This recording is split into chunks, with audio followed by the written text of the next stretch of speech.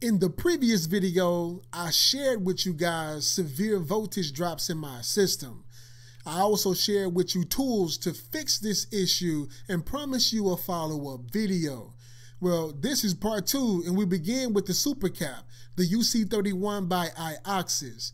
Will this Bluetooth capacitor be enough to fix my problems? Stick around. I think you'll be shocked by the outcome.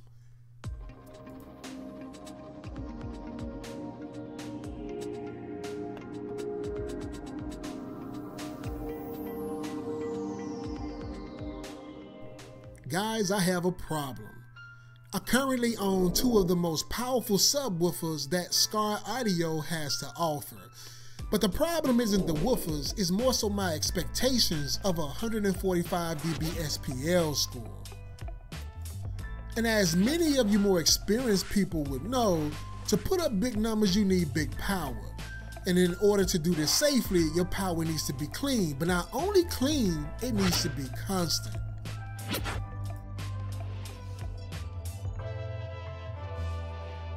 My current system has voltage drops near 11 volts, and that is nowhere near being constant. So today I'll swap the AGM batteries with the capacitor and see if this eliminates the fluctuations. Before we do that, let's compare these two technologies and sort through some of their cons and pros. Because from what I've learned, depending on your application, one isn't necessarily better than the other.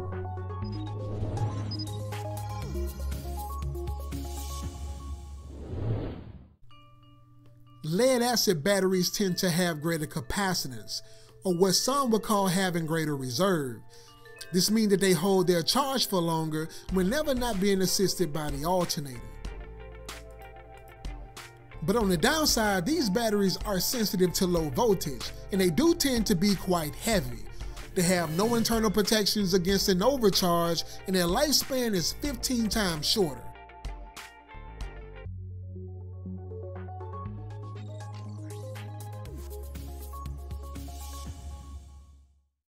The capacitor, on the other hand, has a superior discharge and can be fully charged within seconds. It's more weather resistant, rated at a million cycles with a 99% charge efficiency.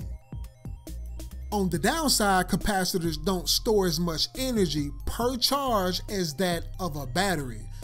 And whenever not connected to a constant power source, they do tend to suffer from self-discharge. If you are enjoying this video and would like to learn a little bit more about how to simplify car audio, please consider clicking that subscribe button so you don't miss a thing. Okay guys, as you see, we do have a little bit of safety precautions back here. Got the fire extinguisher in case anything crazy happens. Right now the voltage is sitting stable at about 14.2 volts. What we're going to be doing is we're going to get some music playing here and we're going to see exactly what this ultra capacitor can do.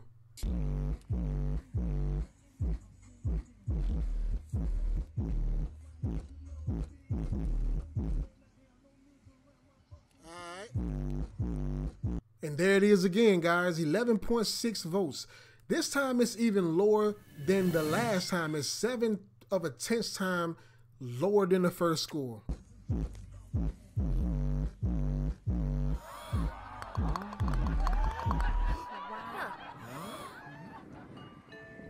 Okay guys, I didn't really like what I just seen in the trunk, but it kinda gave me an idea. What exactly is going on up front, right? I mean, this is my main battery. The capacitor back there is supposed to take the brunt of things as far as the speakers. So I'm not even gonna edit this. This is very, this is very, very uh, intriguing to me. I was surprised by what I seen in this test right here. So I'm not gonna edit this video. I'm gonna give you guys, I'm gonna give it to you guys exactly the way that it is. Let's get some bass.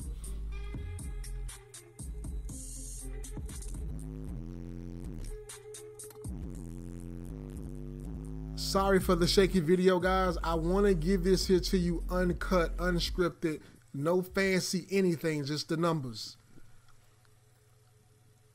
And yeah, I did not restart the song. So, like I said, I want to be completely transparent with this because I want you guys' opinion on what you think is going on here.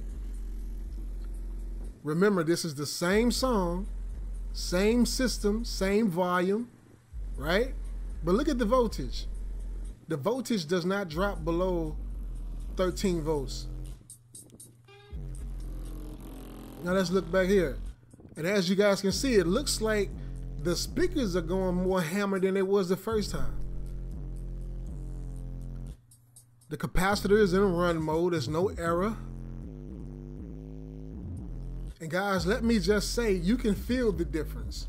The capacitor is definitely an improvement as far as the punch that it has. But let's take this to the back. And I wanted to do a continuous walk of this. And we're to get it plugged up here. Again, unscripted, unedited at all. And yes, I just did put that in a 12 volt. like I said, I'm not even to edit that out. I'm, I'm to now find me an actual ground. And there you go again, the fluctuations.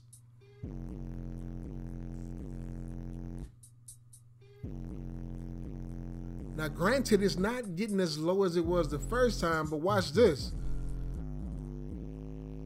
Depending on what beats you playing, there it is.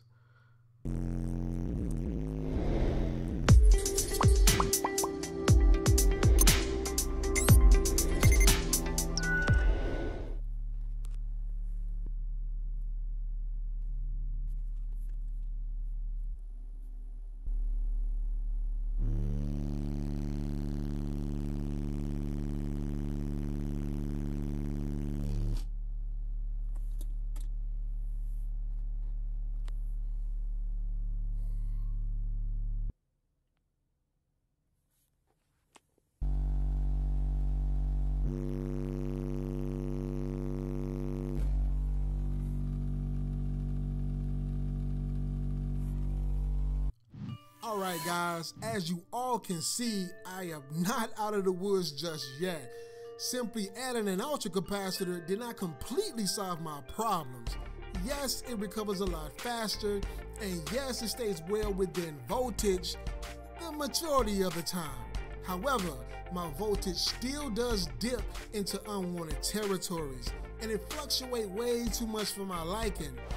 This is a clear sign of the stock alternator not being able to keep up with the demands, and therefore it relies heavily on the capacitor and battery to handle the massive drops.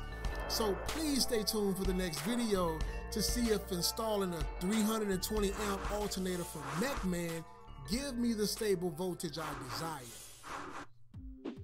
Thanks for visiting the channel to help you simplify car audio. It's the BudgetBassHead and I'm out.